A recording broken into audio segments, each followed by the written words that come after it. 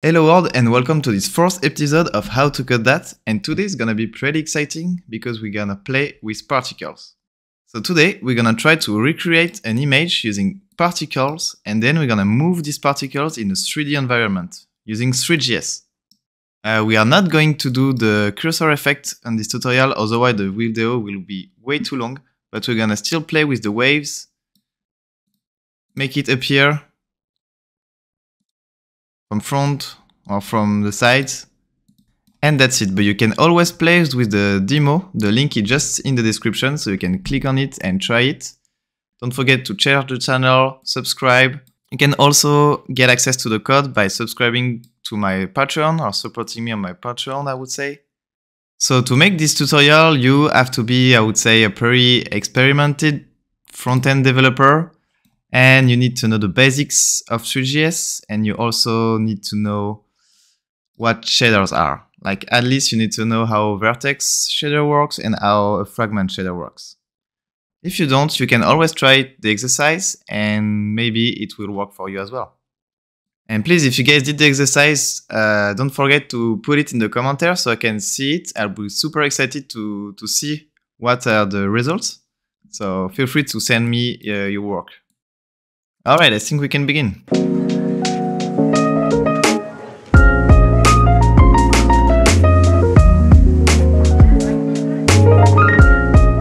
Alright, so the first thing we're gonna do is we're gonna download the Vite Three.js template that I made. The link is just below in the description. So click on the link and then either clone the repository or download it. I'm gonna download it as a zip. Okay, then we're gonna open it in our text editor. Okay. So as you can see, there is a bunch of stuff already, um, but we will check that later.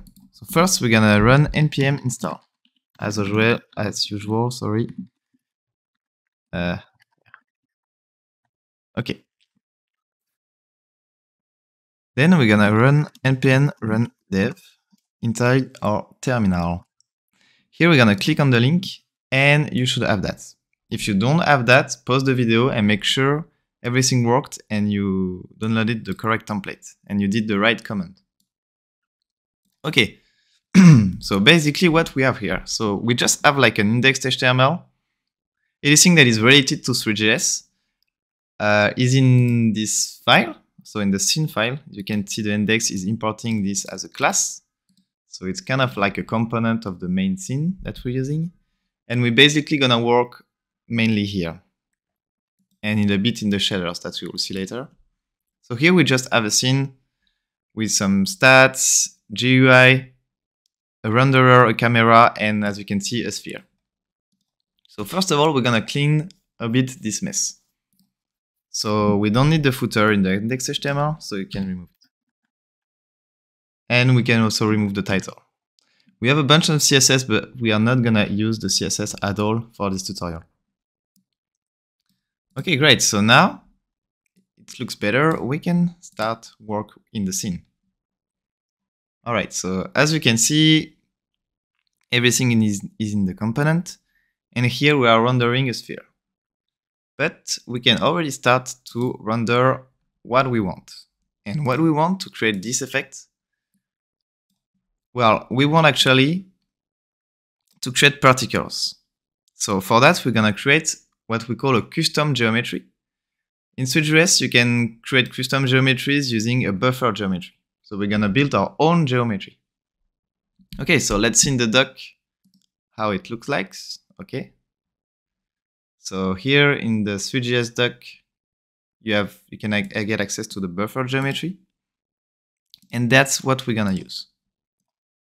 All right, so For that, here we are seeing that we're creating a sphere. We're gonna create, remove that, and we're gonna say set particle, particles, sorry, grid. Because we're gonna create a grid of particle.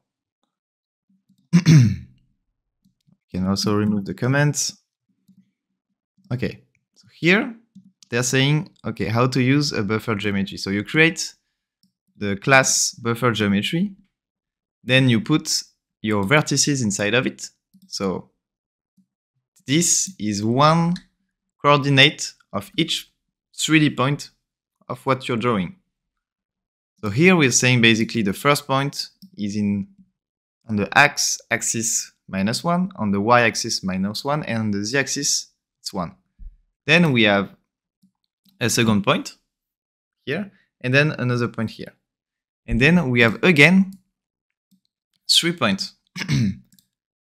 Why is that? Well, you'll see, but this is basically a triangle, right? Because it's like three points. And this is another triangle. And based on the coordinates, this is going to this is going to create just a normal square, right? So this is basically created two triangles that is creating creating a, uh, a square. So let's see. Here we're gonna replace that. Here I'm gonna use that. So feel free to find that in the doc in buffer geometry.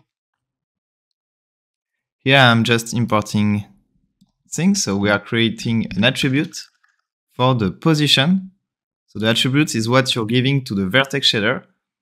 And we are giving the position of each um, of each point in the vertex shader.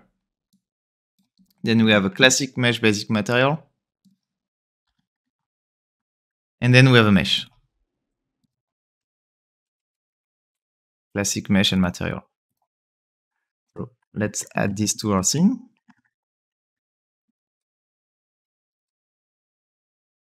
Okay. Let's see what's happening. Okay, well, at least something is showing up. We have a red square. Great. Well, that's because, uh, as I said, well, I should, this is really ugly. That's because of my Prettier. I should not use my Prettier on this type of things. Okay, so basically here we have, oop, so we have six points in total. One point here, two point, two third, second point here, third point here. So that's one triangle. And then we have like four point here, five here, and then six here. I'm not sure about the other, but basically that's creating a red square. Okay, something is off though. You can see the z-axis, it's one, right? Well, that's because, as you can see here, for each coordinate, this needs to be zero. So if I do only on one, it's gonna create a triangle. So I'm moving this point here, then I'm moving this point, then this point, etc. So that's really how you make custom geometry is really by giving a point, giving coordinates, sorry, for each point of your geometry. So that can take long, but don't worry, we're gonna do just something really simple. Okay, so basically we are just saying that our, we are drawing a square with position 0, z, and minus 1, 1, 1 and minus 1 for the x and y axis. Alright, cool. Okay, now that we've done that, let's position the camera a little bit different. so here, as you can see, we are changing, we are creating a camera here. So we're gonna just uh, put that basically in the centers because we we basically want to look at it if it's like flat, like a flat flat image. So we just want it to be x and y zero, and we're gonna take a little bit of uh, we're gonna just go back a little bit by increasing the z value. Okay, so that's will be better to work with the image, right? Okay, so now uh, let's proceed. So here we want to build particles. As you can see, this is not like a normal geometry, right? There is no triangles, as you can see. This is drawing by points, right? Particles. So to do that with Three.js, you can use something that is called point. Simple as that. So ins instead of using um, sorry, a mesh. Here, we're gonna use a point. And the difference, basically Three.js is doing that for you under the hood. But in WebGL, what's happening?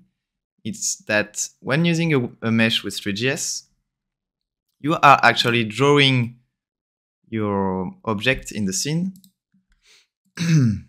by using GL triangles. So most of the time when you're creating 3D, that works for every environment in 3D, not just JavaScript and WebGL. Most of the time, this you are basically drawing triangles, right? To even to do like any shape, like even like a bottle, I don't know. You're gonna use triangle and make a lot, a lot of triangle. You can also that call that polygon, and it's gonna create a shape. That's how we make 3D. But here you have other ways to draw things in WebGL. And here we're gonna use what we call draw points. So here, instead of saying for each of these coordinates, draw me a triangle, like it was doing, remember two triangles in the rectangle. Here we're gonna say, hey, for each of these coordinates, just draw me a point.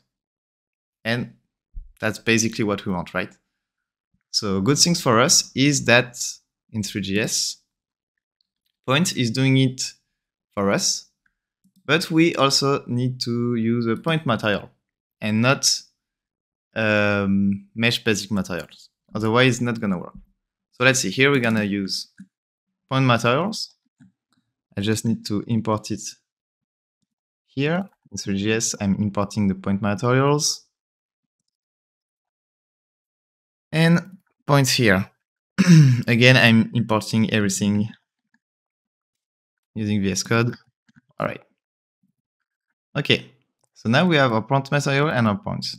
So let's see how it looks like. All right, cool. Uh, it seems to work pretty much. Uh, as you can see, we have like really big particles, uh, but we only see four, right? That's weird because we should see one particle per coordinate, right? Well, that's not weird because two of the points are ex exactly the same coordinates, right? So this one is exactly the same as this one, so I guess we can remove one. And I guess this one is exactly the same as well. All right, so here, as you can see, we have our four points and it's working, right? Perfect. Okay, so we have seen that uh, for each, I mean, we are creating what we call a float32 array. And for each of these, every three time we are doing a, a coordinate of a point. Then we are creating what we call an attribute. We call it position, and we are giving this position attribute to the geometry. Then Three.js is doing the shaders for us, and it's using this coordinate to write the point.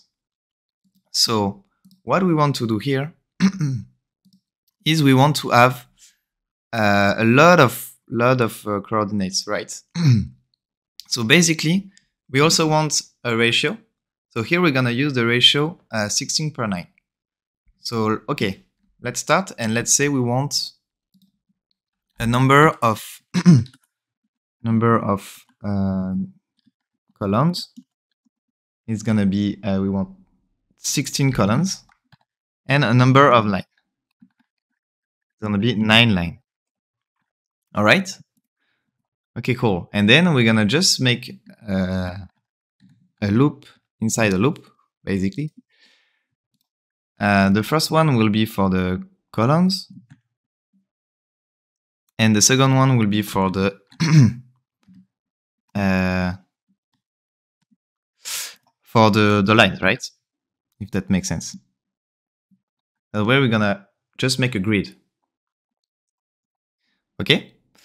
Then we're gonna create an array called vertices. That's basically are gonna be our points. our co the coordinates of our points, right? Then here for each of this, we're gonna create point. And we are going to put, remember, we have to have three coordinates in a row. Uh, that's gonna be from uh, zero to uh, whatever you want. So here we're gonna go from zero to 16 and from zero to nine. So in X will be the column, right? The line will be what the Y axis, like that and like that. And then in the Z axis, we're gonna just put zero because for now we are just want it to be flat. So we have this point, and then, as you can see, we're gonna uh, use the vertices and we're gonna push this value inside of it. Uh, push point. All right. Uh, I just need to rename that. And I'm just gonna see what we have in here. Just gonna log that. Sorry, I just increased the text editor, so maybe it's easier for you to, to read. Um, and I also, I moved this here. Okay, so here I, I was logging the vertices. So as you can see, we have what we want, right? Because we have coordinates from 0 to, to, to 16 and from 0 to 9. Problem is, this is not really what we want, right? Because as you can see in the float 32 array, all the numbers are just following each other. There is no array per basically coordinates. So for that, what we're gonna do is we're gonna just basically here just need to remove the brackets, right? Good thing is JavaScript is that you can do easily that using the spread operator. So when using the spread operator, it's gonna just basically take these three values, put them inside of um, in, inside this this array, but it's just gonna take the values of here. It's not gonna take the array. It's gonna just take each value each value of the array, sorry, and just place it inside the vertex. So let's see. Okay, perfect. So now, as you can see, all the coordinates are following each other. I know it looks worst, right? But that's how WebGL works. And that's how it's able to read the coordinates. All right, cool. So we have our values and here we need to put our vertices, right? And let's see. All right. Oh, cool. So looks like it's working. I think we have uh, 16 vertices in the line and 9 in the, in the Y, right? So I think that's looking great actually. Uh, but now we want to center it, right? It's not centered. Well, thanks to Three.js, it's super easy to center. You can just do geometry and you have a method that's gonna center all of our coordinates. Here you go. So here, each point now is, in, is centered. Okay, great. Uh, it's great, but I think it's still missing some particles. What? It's, it's not gonna have a beautiful effect with only this amount of particle. So what we're gonna do is that we're gonna add a multiplier. multiplier, and we're gonna say, let me check what I've put. Okay, I said 18. 18. and we're gonna multiply this number. All right, cool. So now I think that better, right? We have, uh, well, I just need to reverse the values. I think are reversed lines and columns. All right, better. So now we have a lot of particles that we will be able to play with. So that's that's better, right? and that's what we're gonna have here. Okay. So we also need to move the camera back. Otherwise, it's too close to the camera. Okay, I think it's looking great now. Great. Okay, now it's gonna be a little bit more complex because, okay, that's great. Three.js is giving us a way to easily create particles and position them, but we have actually no way to interact with them, right? We have no way, we can change the color, but that's pretty much it. and we cannot like make them move or make them take the colors of the texture that we wanna, like an image, for example, like a landscape, like we are doing it here. Right, so for that, we're gonna have to do our own shader material, our own material. So to do custom materials in Three.js, you have two ways actually. First one, you can use what is called a raw shader material. So it's basically doing the same. You have to give it a vertex shader. So the vertex shader is for the position of each coordinate and a fragment shader. The fragment shader is for the colors of the of your shader, basically, of your object. So with the raw shader material, you have to write everything, all the shader in GLSL from zero, and same from the fragment shader. So that's great if you're a boss in shaders, but uh, sometimes it's great to use the shader material because when using the shader material, you have already some logic that Three.js has implemented. That means you can use includes inside your shaders that will give you what uh, Three.js is using already in their other materials. Okay, so what we're gonna do is we're gonna use the shader materials and we're gonna try to just replace it with the point material. And then that way we will be able to change this point material and add our own logic behind. All right, so to do that, let's use the shader material. Okay, so as you can see here, we're not gonna use the, the colors. Okay, so you can import the shader material like that. and here we're gonna add some one vertex shader and one fragment shader. So here, as you can see, I already have a vertex shader and a fragment shader, but we're gonna change that.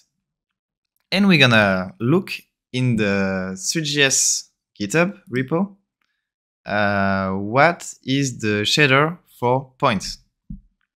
And if you go to the shader in the, sorry, so in the Three.js library, you can find here in renderer shaders, there is what we call the shader lib. And the shader lib is really important because you can find a lot of things that Three.js have made, a lot of shaders, and basically what's happening uh, under the hood. And here, if we go to points.glsl.js, you can here find how he made to render this point material. So you can see there is a vertex shader here and we're gonna just copy and paste. So here, let's copy that. And uh, just to clarify a little bit, everything that you see here, the includes are like um, part of code that Three.js will include for us because we're using the shader material. And all of these includes, you can find them super easily. It's just Remember we were in the in the shaders, so we have shader libs, and all these little includes, you can find them in shader chunk. And here, for example, uh, you can see we have the common include. So this is the code of the common include. So I know that's a bit complex, but it's basically a lot of function that is using. You have the value of p that can be useful. So all this stuff. But you can see we are not gonna use them uh, here is just to, to see how a point material works. But we're gonna use uh, some of them. We're not gonna use all of them, but some of them. We're gonna use the begin and project vertex. Okay, so that's for the, the main vertex. Then let's do the same with the fragment shader. So calculating the colors. okay. Cool. So now we have replaced uh, that our own vertex with the vertex, the sorry, we have replaced our own shaders with the shader from Three.js. So now we just need to import them.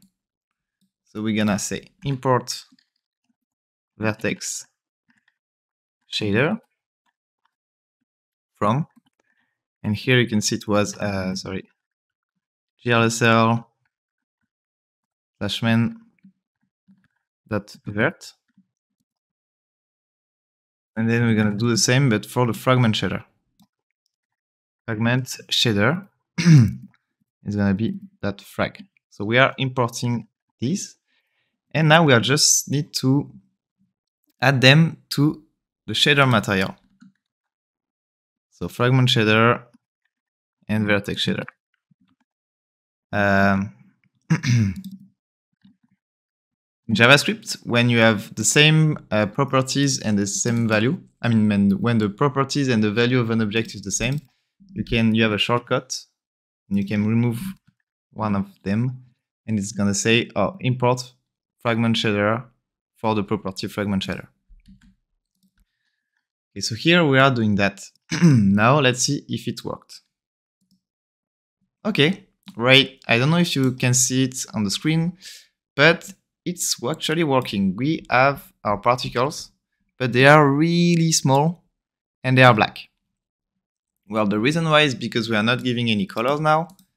And it's also because the, the thing that we are implementing, the code that we are implementing if, is in there. Okay, so now let's have a look at our first vertex shader. So everything that is here, we actually don't need that for this exercise. So we can easily remove it. Don't need color vertex, we don't need morph color, we don't need morph target vertex. It's probably to do some morph morphing stuff that we are not gonna use. Here we are not gonna use the size attenuation, even though uh, in the demo I'm doing my own thing. Uh, but in this exercise we won't have time. and we are not using the things with the fog, etc. But uh, if you're already in a Three.js environment with a lot of stuff happening, uh, you can you should actually maybe keep these because they're gonna work with the I don't know if you made a fog in your scene, then your custom shader material will have the fog because you will have the fog code included in your own shader. So that can be convenient. But here we are doing everything almost custom. Okay, so let's have a look at what we kept. so we kept, you can go to shader chunk. In the shader chunk, we seen that we are keeping the begin vertex. And as you can see, the begin vertex is using the position. And I don't know if you remember, but the positions attribute, it's what we are giving. So that's basically all the points that we have created. Here, remember, we are saying set attribute position, and we are giving here object with coordinate of 3, and we are doing all of our grid. So this is basically the coordinate of each of the points, each of the vertices. And it it in in the transform uh, variable for some reason. And the reason is because then if we go to the project vertex, okay, project vertex, uh, okay, as you can see, it's doing some stuff. I'm not gonna go too much into detail, but that's the model view position. So MVP, as we say in 3D, so that's basically the calculation uh, between the camera, where is the object in the scene, and that is basically the calculation you need to do in WebGL to position an object from the camera with the calculation of the field of view and the perspective, etc. So basically, it's doing all of this for us already. So that way we don't have to write it again. And GL position is the final value that you need to give to the vertex shader. That's always the value of the positions of your coordinates. And here you can see we have something new that we don't find in WebGL when you're using GL triangle, this is not use, this is not working. This is something special for GL point draw. Remember here that we are drawing points. So this thing is basically the size of your uh, points, right? Because we're using points and you can have bigger or smaller points. Here it's using the default value from Three.js, but we can add our own value. So let's say, what if we add 10? Okay, you can see we have like a dark plane, but if we zoom into it, see, we see all of our particles.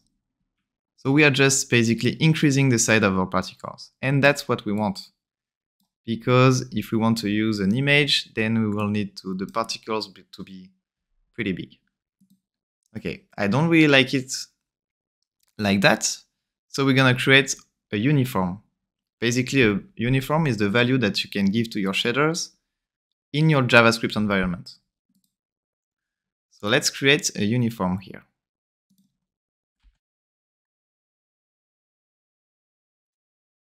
and we're gonna say u point size. That way it will be easier to change it. Uh, value. And we're gonna say 8, for example. So we have our uniform. And then here, in the vertex shader, we're gonna use u size uniform and put it here. Okay, so now if I'm changing this value, see, it's working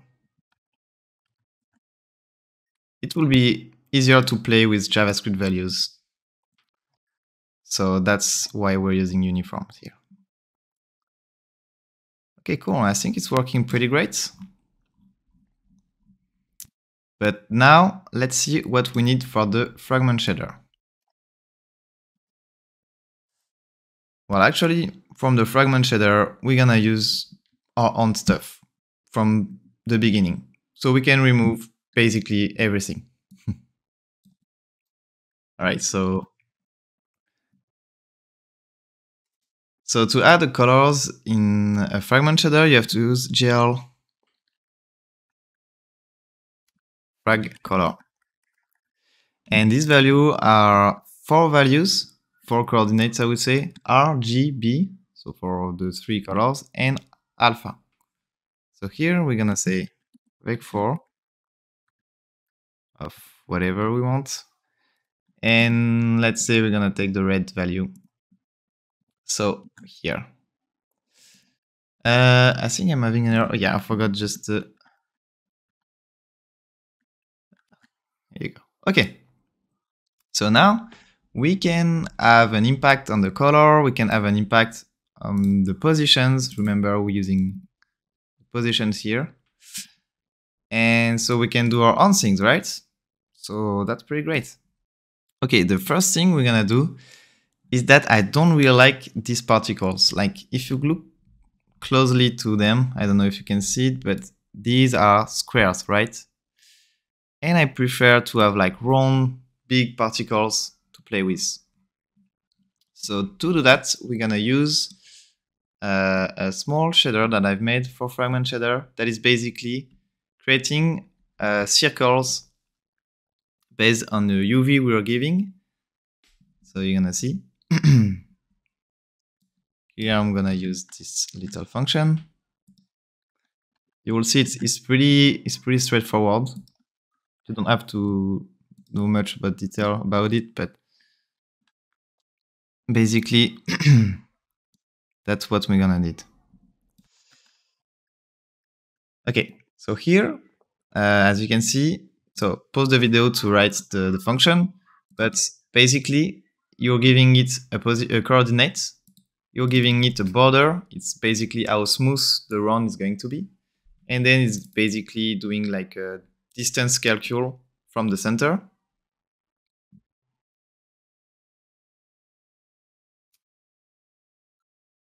And it's smoothing the border.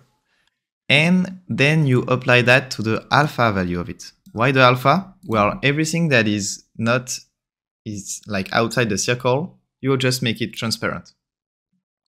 And so basically, every value of the for each coordinates that is not in the circle will be transparent.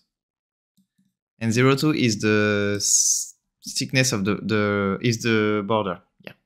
Here I'm using a radius of 0.5 to add the middle. Okay.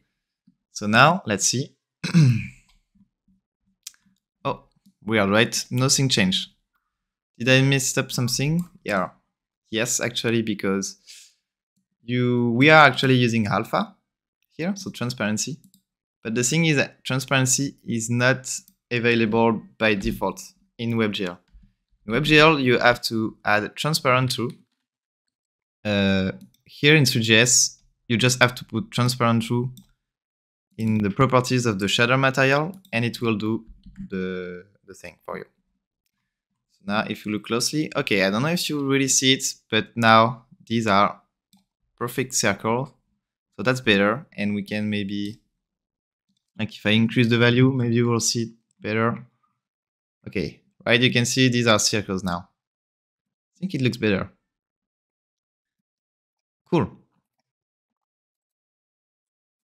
So now that we have seen that, I think we can start to add our image and play with that.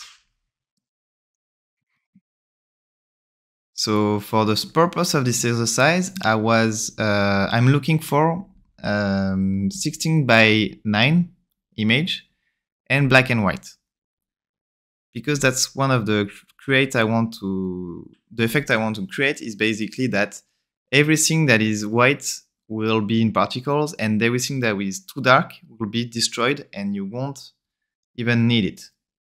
It's also good for optimization. So here, feel free to pick any image you want. I think I'm gonna take, yeah, take this one for one exercise. Um, here, as you can see in the exercise, I use this one. And I also made a transition between other textures and here I basically write some text, but that's a texture. It's kind of cheated, I would say, but it's working well. Uh, okay, so here I'm gonna use, for example, this image. Uh, yeah.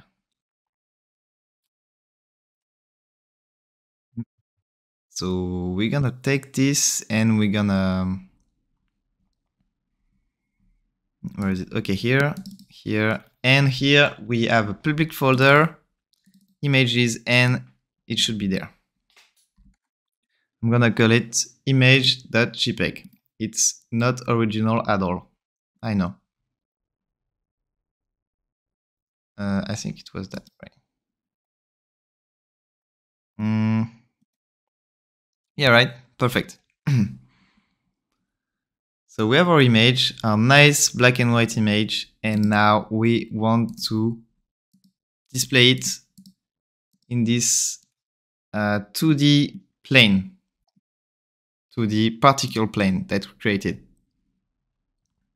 All right, so for now, we're gonna need to use UVs. But first of all, let's load our image. Okay, so as you can see here, in the init method, I was already loading an image. I'm using a loader manager that you can find here that is using the texture loader from Three.js and it's gonna basically uh, load your image, wait for it. Once it's done, it's gonna give you an object when you can get access everywhere in the in the in the project. You can get access to this texture here, instead of uh, name be was matcap, we're gonna be image. And image here is going to be JPEG. Feel free to take any images from your project or whatever you want. Something nice. You can also not do that with black and white if you want. Uh, it will work. You will just don't have the discard part, but it will work. Okay, so here we are loading an image and I think it's working. So now that we have our image, we're gonna need to add it inside our material, right? Remember? So we have our uniform and we're gonna add the U texture. And this texture, we're gonna add the loader manager. We're gonna add dataset. Then we have to put the name of what you used. So here it's image. And then you're gonna use the texture. And that basically is our texture loaded, ready to use for WebGL. Okay, so if you do that, we should have our texture here. Uh, I think I'm just gonna remove the, the helper here. We don't need it really much. Uh, uh, uh, uh okay. Okay. So we have our texture in our shader. And now it's time to do the calculation. So it's gonna be displayed inside of our grid. Okay, so to use the texture, what you want to do in WebGL is to use the uniform of it, and it's a sampler 2D. Sampler 2D.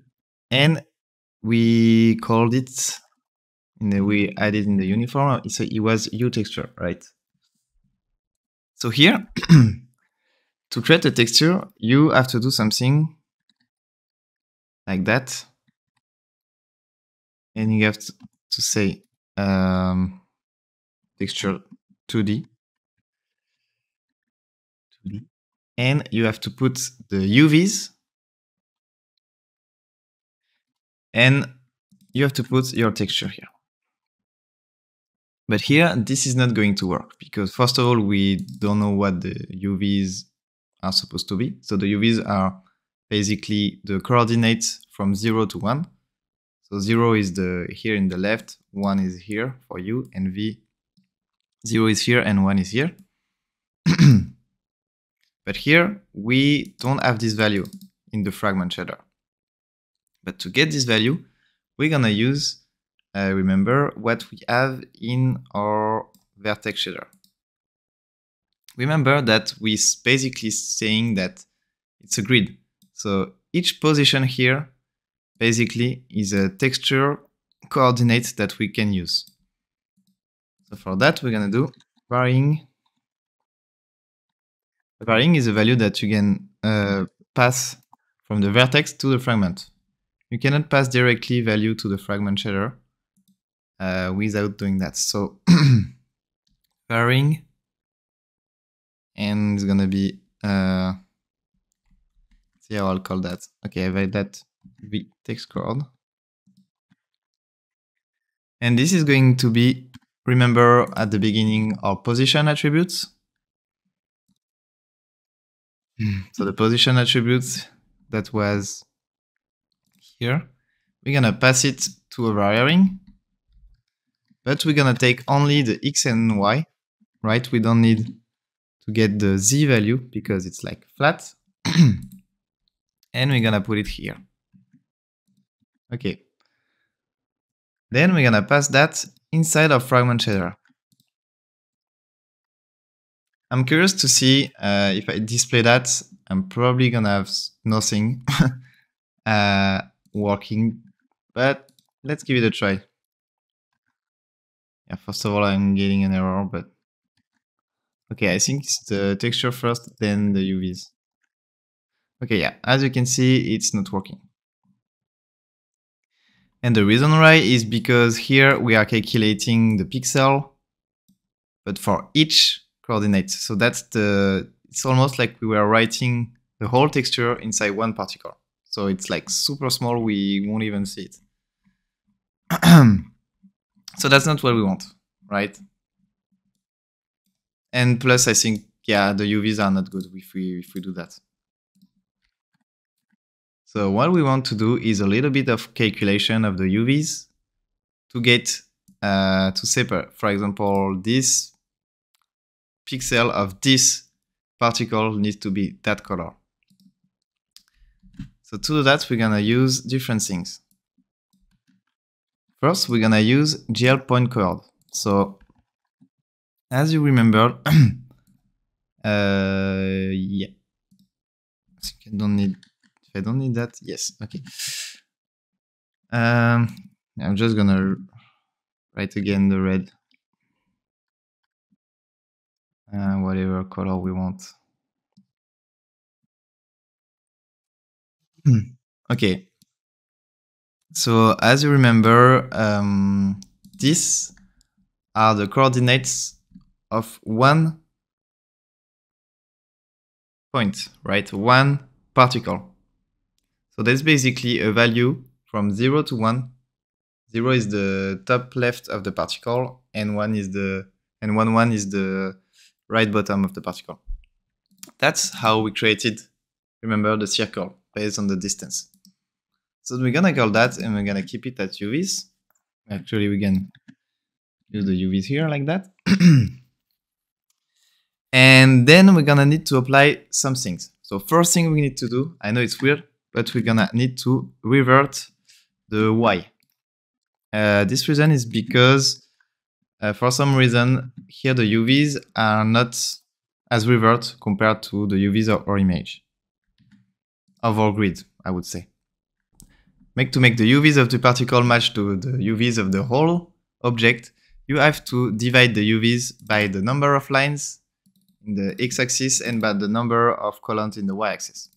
Then you need to offset these values by the position of the particle inside the grid. So for example, if we have like 100 uh, lines, then here this one is at like position 10, right? So it's gonna be 0 0.1 because the value in the end needs to be from 0 to 1.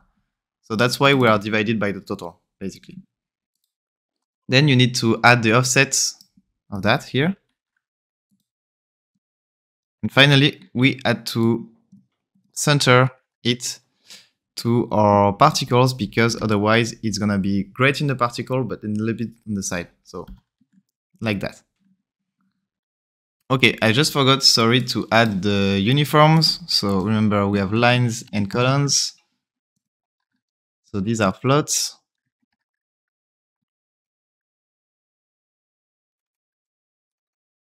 okay and I'll need actually to add them here, right? In number lines.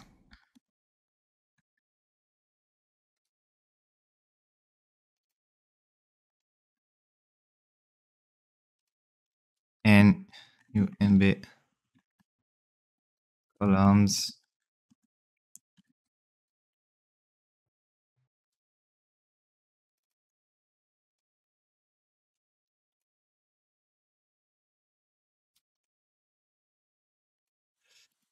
And okay. And now we can finally use the texture values. Yeah.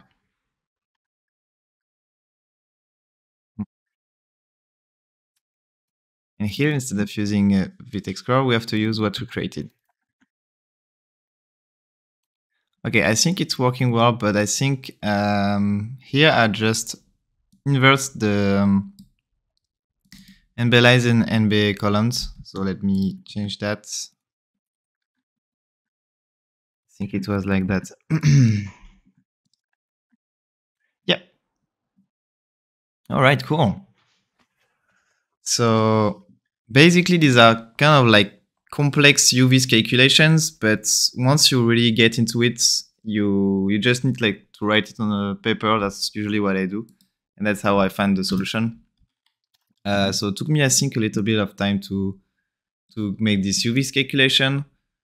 Uh, the tricky part was the fact that each particle needs to have like a part of the um, of the texture itself, and not just being one color particle. Basically, each particle have multiple colors, and to create this effect. And so basically you have it. So that's how you can make it work. And now that we have that, let's make it looks better by changing the background of the scene. First of all, so here we can put it to zero. So it's black. And once we have that, maybe we can a little bit uh, increasing the, I think the point size a bit, right? I think eight was great, cool. So we have that. so we have that already. I think it's working great. And here, okay.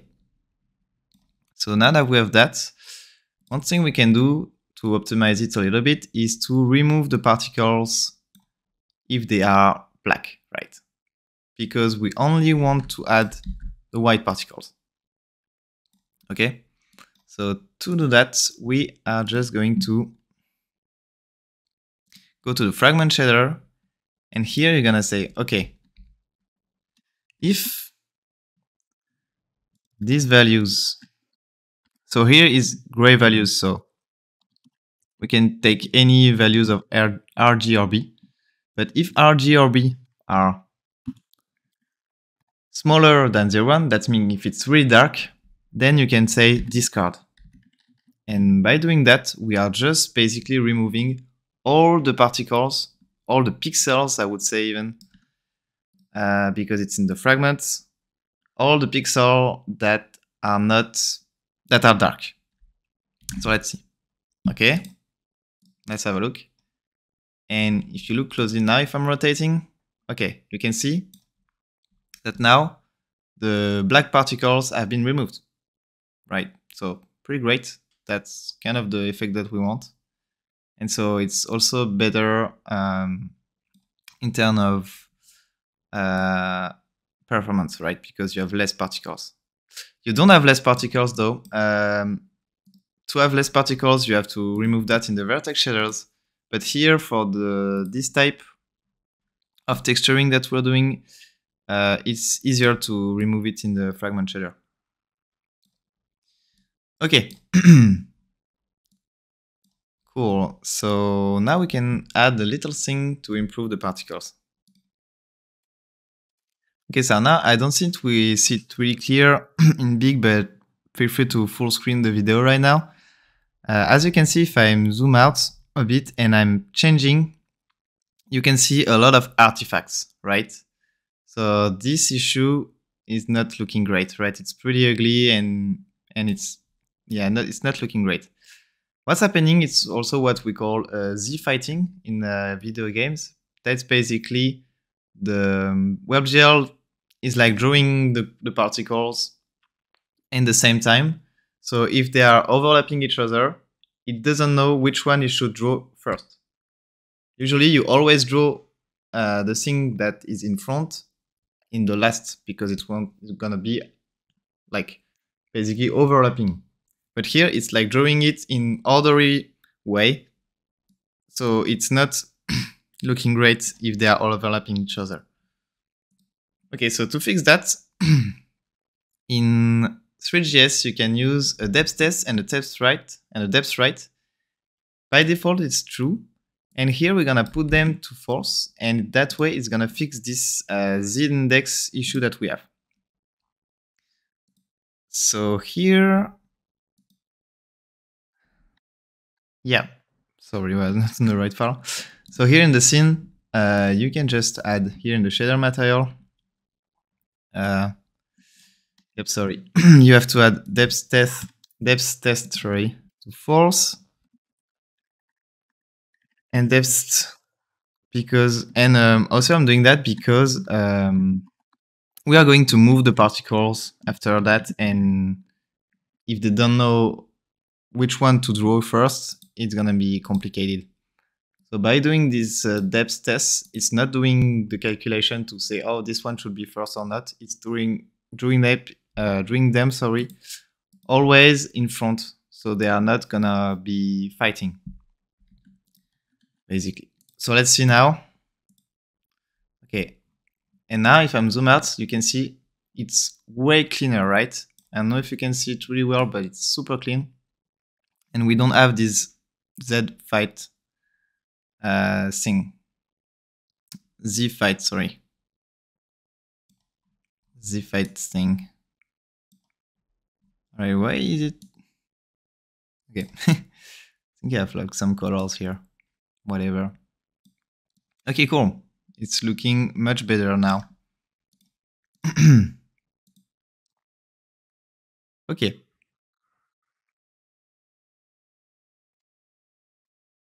Okay, so now we've seen how to use a texture and put it inside of uh, particles, inside a grid of particles, and make it match the texture by changing the UVs. Uh, but now we want to, now that we can just having fun and make the particles move, right? Because it's cool to have a particle, but if you're not moving the particles, then why bother having particles, right? So here you can see in what I did here, uh, I make them appear from behind the camera and the destination will be the Z, the zero position of D. So we're gonna do that uh, as well. So this effect. All right, so for that, and you see it's gonna be pretty easy. So now we will gonna play with the vertex shader. We don't need the fragment shader anymore because we are just doing everything for the colors is already there. And we just basically want to move the positions of the particles. Remember the positions are here in the begin vertex. So let me begin vertex and project vertex, right? And you can see here um, the positions are used are being calculated by the model view matrix and basically by where the camera is. But we are not gonna really change that. However, we're gonna change what is before, right? We're gonna change the positions of here, of transformed. Basically the position of the, the particles.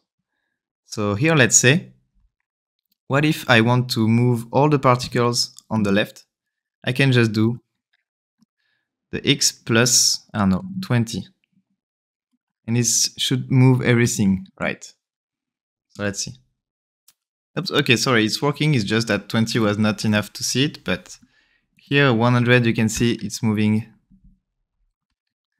So that's how we're gonna change the values. But we want to change the z value, right? So we want to change this value. Here we are applying that to all the particles, right? We are not doing any distinctions between a particle and another. So to do that, we're gonna use attributes again. Remember at the very beginning, we created a grid of positions. Well, what we can do is we can uh, create another grid that is saying, hey, when you're starting the animation, the position should be this initial position grid, and then it's going to be to the final position grid. So basically, we are just gonna do the same here, but we're gonna do another array, call it init positions, and here we're gonna get new points that we want. Okay, so first of all, let's comment that. so here we're gonna say we're gonna create what we call an init point. And now feel free to be creative and that's basically where the grid will come from. So here what I'm, I was doing is I was doing uh, keeping the same uh, x and y position. However, the z, I'm gonna use a random float from Three.js math utils. So this function is come with Three.js and it's basically giving you a random number uh, between two values. And we're gonna say, I think it was uh, from 400 to,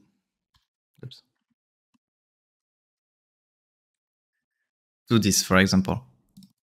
And then we're gonna put these values inside our init position. We're gonna use the spread operators again because we're gonna use a float array as well but this time with init points. And here we're gonna use the same thing, but we're gonna call that init position. We're adding a new attribute to our to our grid. Here we're gonna use this array. We're gonna say 32 because uh, it's float 32, and we're gonna put here. Okay, so now we have added another information, another grid of coordinates that is different. It looks similar, but as you can see, the z is different. And now in the vertex shader, we're gonna change this value and we're gonna say transform will be equal to, so that's an attribute that we added. Just note that the attribute position is already included. You just don't see, but because we're using a shader material, it's there by default. And here we are saying, because they are vec3, remember, init position. So the position for x particles. And I'm getting an error. Mm, let's see. No, I'm not getting an error. Okay, I think that's because uh, it's way too strong, the value that I just put. Uh, let's see, so 10 and 100 maybe. Okay, uh, as you can see, it's doing some random uh, weird things. And also, as you can see, uh, this is not centered. Right, this is not centered. That's because here, uh, when doing when doing geometry center, it's gonna work only. It's gonna only change the positions of your uh, buffer geometry, but it's not gonna use your custom attributes that you added. So we of have to do it ourselves. Well, it's not super complex. We are just gonna say minus line divided by 2 and minus uh, this should be lines and this should be columns. Okay, now it's centered and as you can see, uh, it's totally random in the z index. All right, so that's kind of what we want, but then we want them to move from this position to the initial position, to the vertices position. So for that, we're gonna use a value that will be interpolated from 0 to 1. Uh, for that, we're gonna use the uh, GUI because it's pretty convenient to do that, right? So we're gonna say, gonna call it progress. It's gonna be 0. And here in the GUI, we're gonna call it progress from 0 to 1 and we're gonna say on change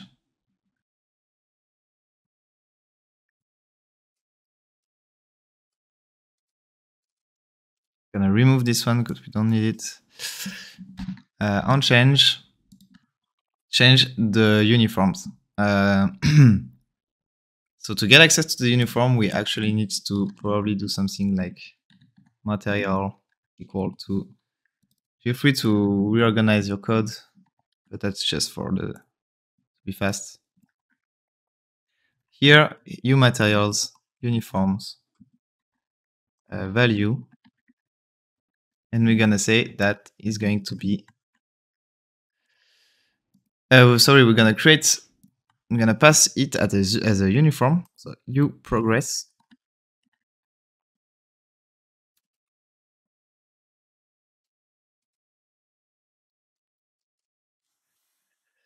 Uh, so zero beginning. And here is gonna be u progress value. It's going to be this value basically. So this GUI dot progress. Okay, so that we just created here a little slider that we're gonna use later. So now that we have this, this slider, here we are going to change the position. So here, what we're gonna do is that we're gonna say, okay, so I want the transform position to start from the init position. And if the progress is zero, everything here is multiplied. So basically, if the progress is zero, this value is zero, and it's going to be the init position. But if this value is one, then here the value is going to be So position minus the init position, multiply by 1. So that means it's gonna be position.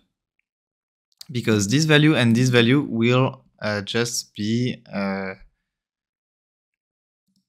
subtract, right? Because the result of that will be basically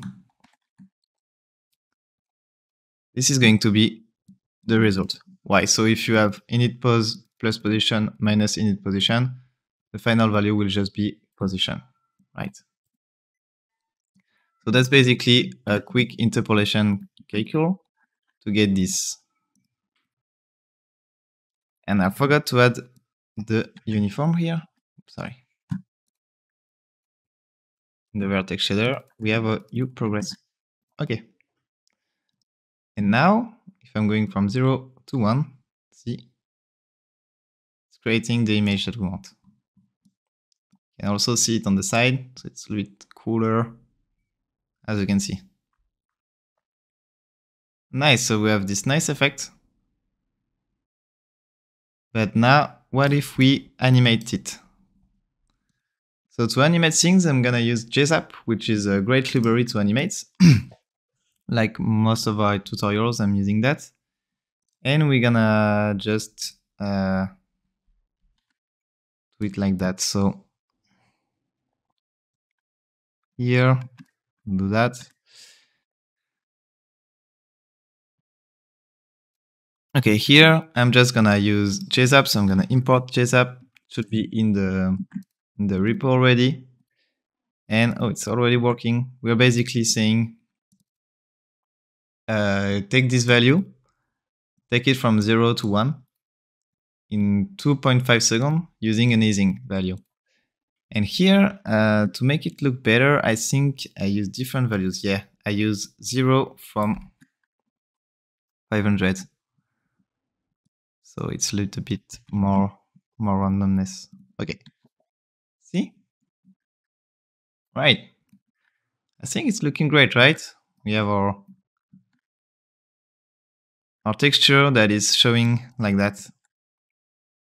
So it's almost what we have here. It's actually the same effect. Cool. Um, now that you know how to do that, feel free to, here you can see I, I create another type of init position where now it's coming on the on the on the left. Um, but yeah, be creative and create like any type of init position that you want, and it's gonna just do the transition using one uniform and just with this line. So it's super easy to make this appear effect. Uh, yeah, one thing I need to add to make it look even nicer is we're gonna play with the opacity and we're gonna just say, okay, so here Uh, if the, um, the progress is zero, it's gonna be opacity zero, basically alpha zero. And then if the progress is at maximum at one, it's gonna be the default alpha value. Here, don't forget to add the uniform. See now, okay. I don't know if you see the difference, but it's a little bit better now that we have the fading at the same time as we and the particles are coming to create the image.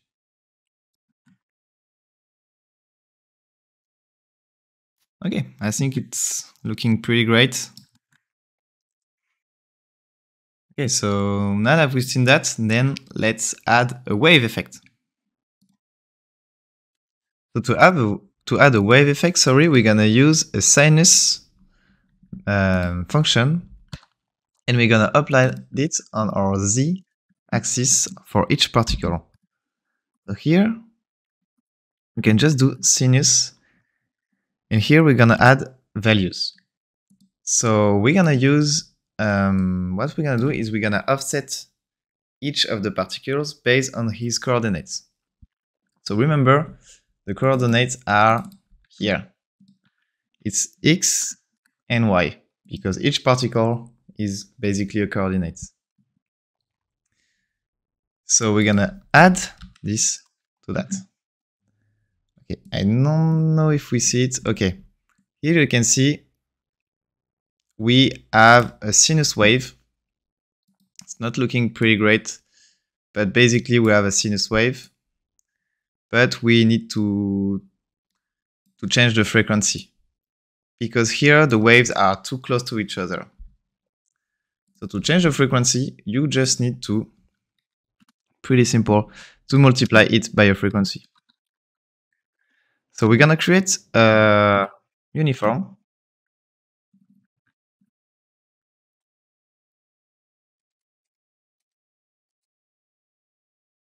and we're gonna apply this value to find the correct one. And to find the correct frequency that we want, uh, it's pretty great to again use the GUI. So we're gonna find the value more easily. also, we're gonna create a wave frequency. Actually, oh yeah, let's just say frequency. We are not using it for nothing else. So it's gonna be zero by default. I don't know. Don't forget to add it here to your uniform.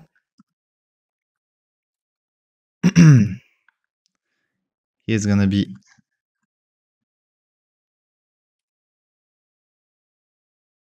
you can actually do the same here by default that way you use the default value that you have here um sorry it was progress i think Okay. So we have that. Then in the GUI, we're going to add a new slider called frequency. And we're going to use the U frequency, remember. I think from 0 to 1 is great as well. Uh, and here we have to change the frequency, the U frequency. It's it working? Okay, sorry, it's just that here I forgot to put U frequency. Okay, yeah. So here the frequency, I just changed it from 0 to 100. and here you can see you can find basically you, the value that you want. Here actually we should use 1. uh, just to make sure here to multiply by U frequency. And here we're gonna have a look. Okay, yeah, as you can see, it's starting to make waves, right? So that's what we want. And I think the wave that I want frequency will be, I don't know, I think, yeah, 0, 27 is great. so here I'm gonna put 0, 27. Oops. okay. So now we have our frequency. And we also wanted to make it move because now we have only make it move on the x-axis, but we wanted to make it move on the y-axis as well. So for that, just need to do this thing. Just add it by the y position as well. And now you can see we have a nice wave, nice wave like that. Okay. And we can make it increase or no. I think I like it subtle like that. Feel free to change the frequency and find what you want. Cool. I think I like it like that. like that. Sorry. And now we can finally uh, make it move. So for that, we're gonna just use the time. And luckily with the request animation frame, you already have by default the time value. You can also use the delta time for optimization reasons. Here I'm just gonna use the time. and okay, remember we have our materials and we're gonna create uh, a uniform new time. And the value will be time. Don't forget to add it to your uniform as usual. So value by default will be zero. and then in the vertex shader, we're gonna use our time uniform. and to make this wave uh, move, we're gonna add this value to our sinus. Also, I forget to add the amplitude. I'm gonna see that right away. Okay, so here, as you can see, it's flickering super fast. so that means we need to reduce the, the value here. So we're just gonna divide it by 1000, for example. Here you can see it's moving really slowly. So we have a nice wave effect. And if we want to increase the amplitude, then we just here need to multiply by an amplitude. So we can create const value amplitude. And it's gonna be, I don't know, 10. Maybe it's too much. We'll see. And you're just gonna have to multiply the sinus value, so the final value, by this. And it's gonna, okay, yeah. 10 is way too much. Um, but we can say maybe 5, I think. It's great. Ah, I think 5 is a lot. Maybe 2. I think 2 is great. Okay, cool. So now we have our wave and we have our up here effect. And I think that's pretty much it. So it's already great. We have our here effect, we have our wave. You can play with this effect. You can like change the, the frequency of the wave. Uh, you can change the speed of the wave can do a bunch of stuff. And yeah, uh, be creative. Um, again, I didn't do the touch effect because that's a whole other story. You have to create uh, another canvas and register the value of your mouse. They do a render to texture. So it's quite a bit complex, but if you support my channel on Patreon, you can get uh, access to this uh, code already and you can just uh, try to under understand it. It's commented already, so so you can try to reproduce. And uh, yeah, feel free to add any effect that you want, like that, uh, like that. Be creative. Like here, I use text, so you can like write something in particles. Like I don't know, it's always fun to play with particles. Uh, so I'm sure you will find some cool stuff to do. Uh, so yeah, that's it for this tutorial. I hope you guys learned something. Uh, feel free to send me your work if you finish your exercise and made it like different or something. Um, no judgment. I'll be super happy to to see the the final result. That's it for this episode. Don't forget to subscribe and I'll see you in the next episode. Bye.